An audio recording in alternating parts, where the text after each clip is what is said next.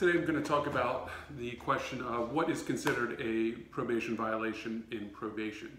There are two general categories of probation violations in Pennsylvania, technical violations and new criminal offenses. Depending on the terms of your proba probation, technical violations uh, can vary. Almost any new criminal charge, though, including a summary uh, offense and relatively minor misdemeanor offenses, are also probation violations. Uh, here at my firm, we can help you understand what is considered a probation violation in Pennsylvania. Uh, give us a call for a free uh, consultation. You can set one up and a probation violation uh, lawyer will speak with you. What is a technical uh, probation violation in Pennsylvania? These occur when you violate the terms and conditions uh, that the judge put on your proba probation agreement. The probation is an agreement that you will abide by certain terms if the court allows you to remain under probationary supervision instead of sending you to jail. The ways you get a technical violation, violation uh, vary depending on the terms of your probation, but uh, some of the most common violations uh, stem from the following. It can be failing to contact your probation officer as scheduled, failing a drug test, uh, not notifying your probation officer about a move or a job change, quitting your job or leaving school, failing to complete mandatory drug uh, or alcohol counseling, and failing to pay fines or restitution. Now, what if you commit another crime while on probation? If you violate your probation by committing another crime, your probation can arrest you immediately, and oftentimes, almost without exception, they do. If this occurs, state law guarantees that uh, you have the right to a probation violation hearing within two days. You also have the right to have an attorney present uh, with you during that hearing. Following your hearing, the judge can modify your probation, add stricter terms, or revoke uh, the remainder of your probation and keep you in jail.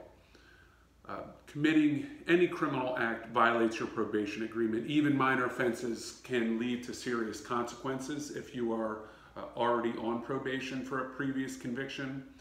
This is true even if you committed uh, two unrelated crimes. For example, if you are on probation after a drug possession arrest and now uh, face uh, theft charges, you will still probably go in front of a judge for a hearing. Uh, we can represent you in court for a probation violation appearance as well as defend you if the district attorney pursues additional uh, criminal charges against you. That's something that we routinely do here at my firm. Uh, you may also face a probation violation hearing simply because police accuse you of a second crime.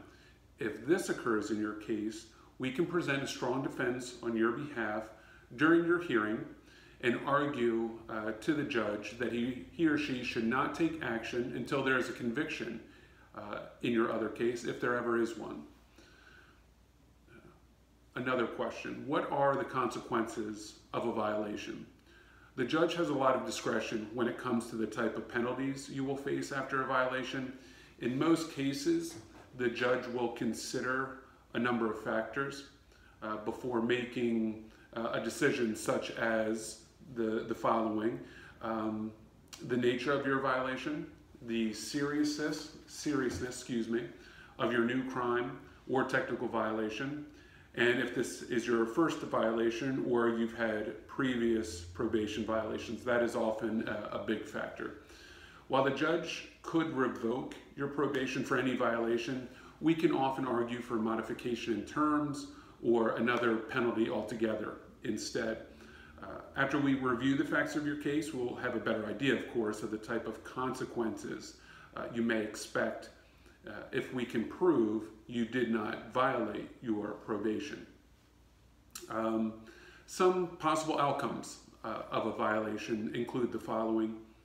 Revocation of your probation, meaning you will serve out your original sentence in jail.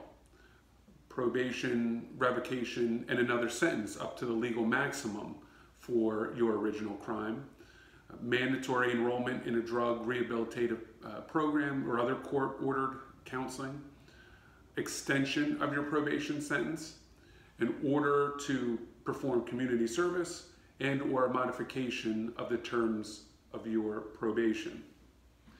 Depending on the outcome of your hearing, you could face devastating consequences that affect all aspects of your life, unfortunately. If you go to jail for even a, a few weeks, obviously you can lose your job or have to drop out of school, uh, miss paying bills even. Uh, you will certainly suffer, as will uh, your family. Uh, how can you talk to a Pennsylvania probation violation lawyer today? Well, that's easy.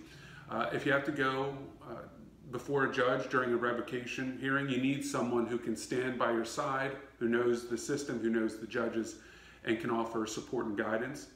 When you enlist my help um, and my criminal defense team here at my firm, we will fight to minimize the potential penalties you face and work to get your life back to normal as soon as humanly possible. Call us today at 610 991 7219 and let us review your case.